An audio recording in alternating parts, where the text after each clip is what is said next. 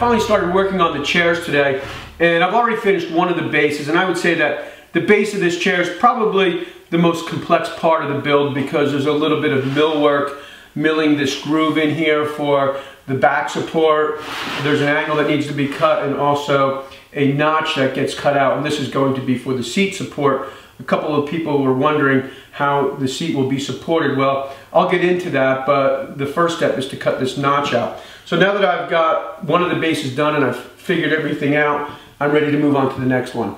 I'll start out with a solid block of zebra wood that measures an inch and three quarters by 17 and a half inches high by 13 and three quarter inches wide.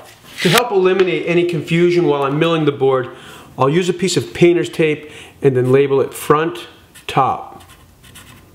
The measurement for my groove is nine and three quarters of an inch to seven inches. So I've cut two boards, one for the top that measures nine and three quarters and I've written the word top and I'll mark a line. And then here at the bottom, I've cut another piece of scrap wood at seven inches and I'll mark a line. And then I'll use my router fence to connect those lines and cut the groove. I've got my router fence clamped to the workpiece and I'll use a 3 quarter inch straight bit to cut the groove.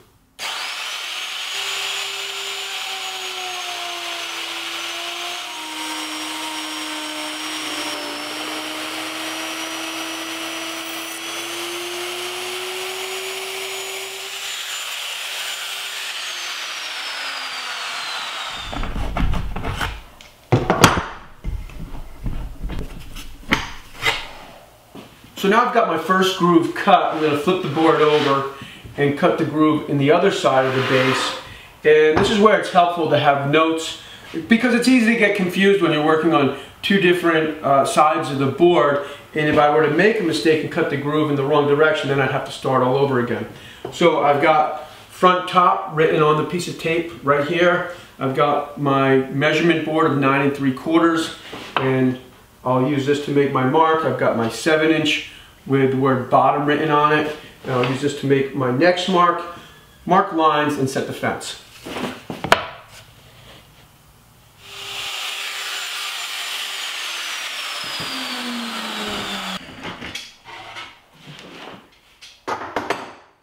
The next step is to cut this angle on the back of the chair and for that I'll measure in an inch and three quarters on the back top mark a line, and then draw a straight edge from that line to zero at the bottom.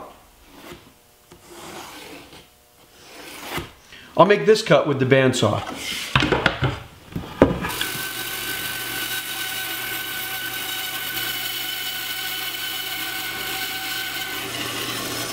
Then I'll use the jointer to clean up the blade marks.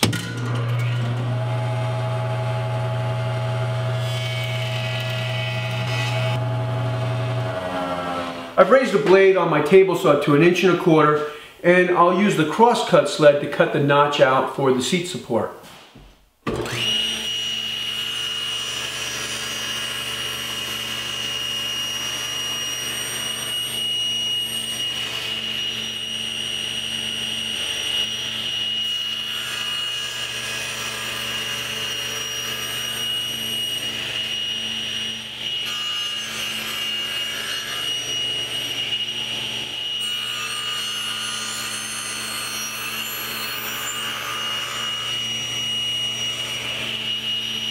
I ended the day yesterday by joining a few boards together to build the backs of the chairs and I'll go over how to do that in, a little while when I build the seats of the chairs but I wanted to get the backs built last night so I could come in this morning, unclamp them and start to fit the backs to the bases.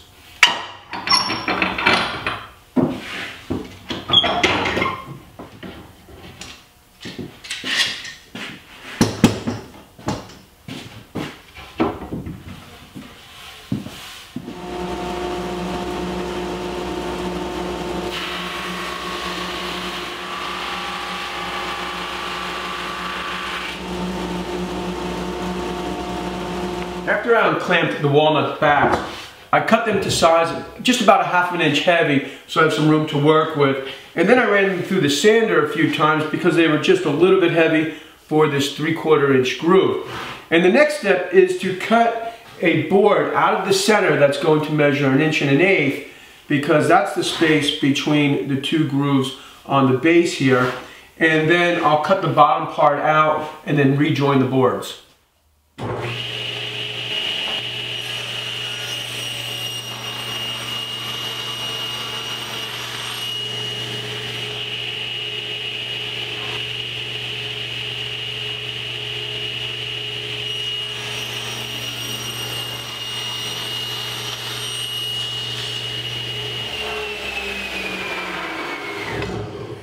Are the three boards that will now make up the back of the chair. I've got the two sides and the filler piece in the middle.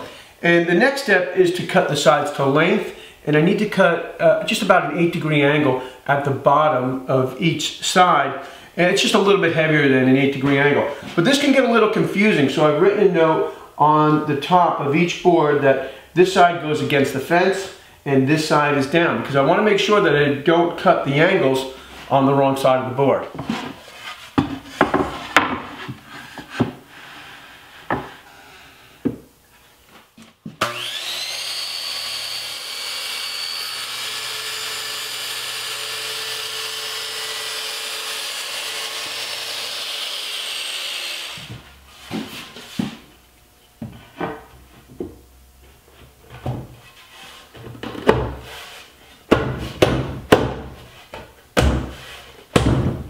When I cut the filler strip out of the back of the chair, I cut it a little bit heavy with the idea that it's better to have it a little bit heavy and be able to trim it down than to have it too light and then not be able to fit the back over the base. This space right here for the filler strip measures an inch and an eighth, but I'm going to cut the filler strip just a little bit heavy, maybe a 32nd of an inch heavy, so I don't have a problem when I go to assemble the chair.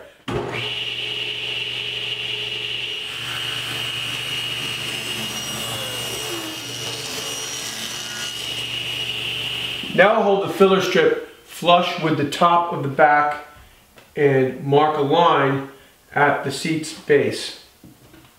I still have the miter saw set to the 8 degree angle, so I'll bring the filler strip back to the saw and make the cut. Now I'll use the biscuit joiner again to rejoin the boards, making sure that the boards are flush at the top.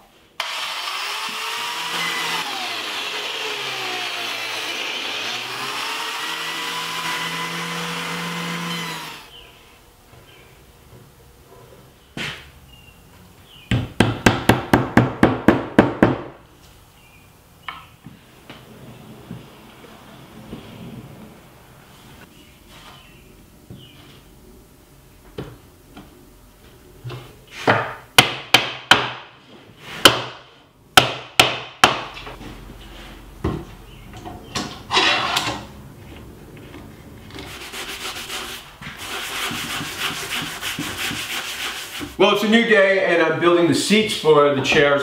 And I'm building the seats and I've built the backs all out of S4S walnut. And S4S stands for surfaced on four sides.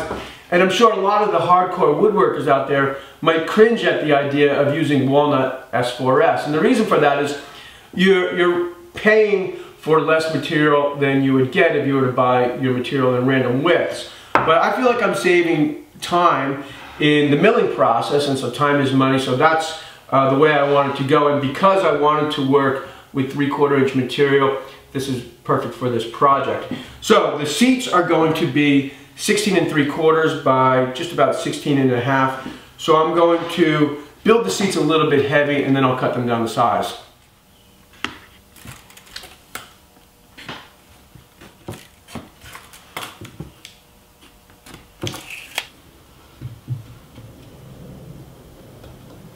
I'm using the same method to glue the seats up as I did to glue the backs up using a biscuit joiner. And just a quick tip, when you're gluing something up using a bar clamp, put a little tape on the bar because if you don't, where the wood hits the wet glue in the bar, you'll get a dark black stain that will be very hard to sand out.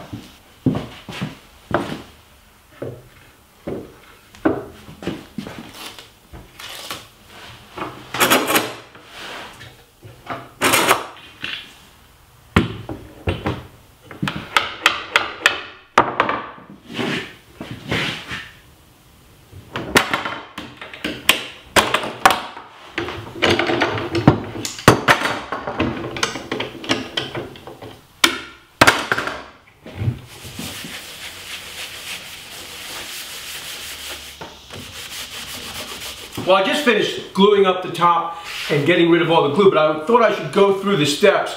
I used these blocks here to raise the clamp up. That way the bar clamp wasn't in the glue and I was able to clean underneath the bar.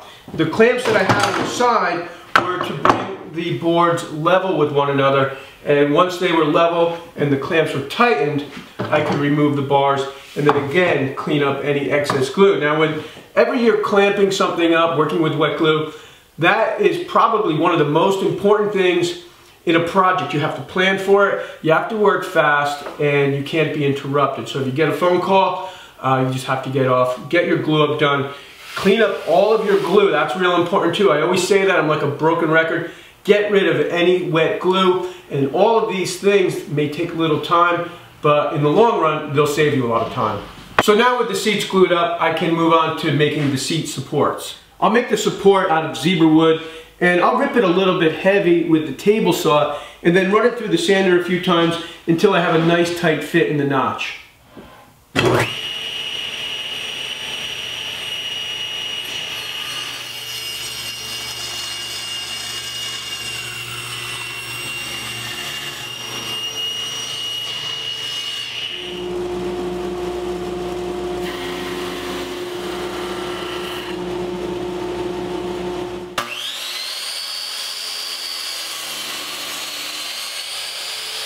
I ran the support through the sander a few times and now I've got a, a really nice snug fit.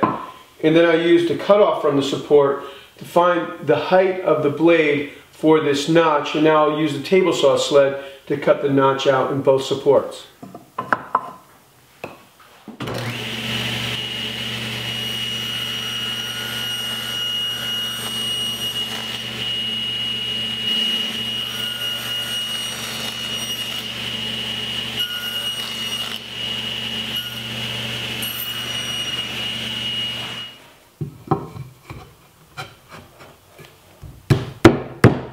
Well, it's a nice tight fit, but it's still a little bit heavy and not quite flush with the top. But rather than trying to remove a little bit more material from the notch, I'll just rip this off with the table saw.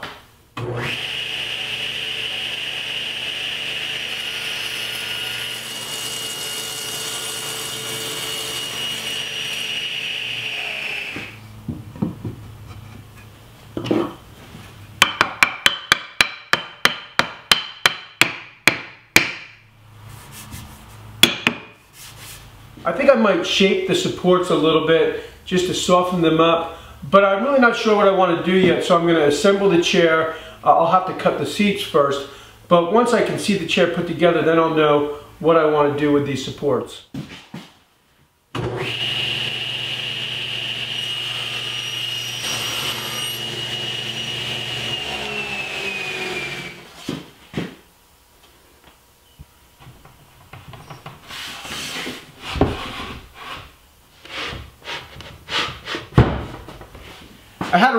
Yesterday afternoon, so I called it a day pretty early.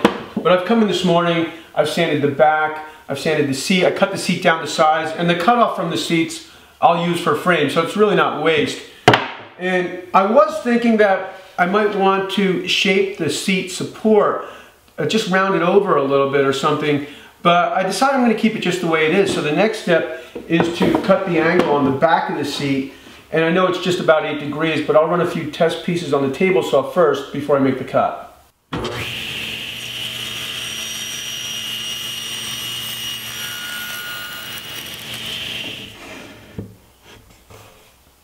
I set the blade for just a little bit heavier than 8 degrees, and it turns out that that was right on, so now I'm ready to make the cut.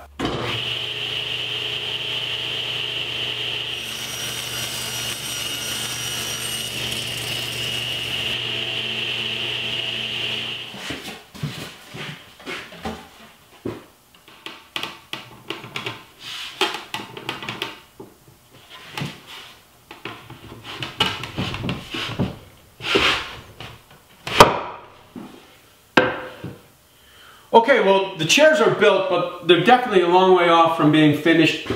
And I would say that each chair is going to need maybe five or six full hours of sanding before I start to think about how I'm going to do the glue up. And I still need to figure out exactly how I'm going to attach the seat to the seat brace And as far as the seat to the back, I think I'm going to screw through the back and into the seat and then fill the screw holes with walnut plugs. Uh, I'll definitely do a, a follow-up video on this project and I'll go over all of the sanding steps and what I'm going to use for a finish. I hope you enjoyed the video. Thanks for tuning in.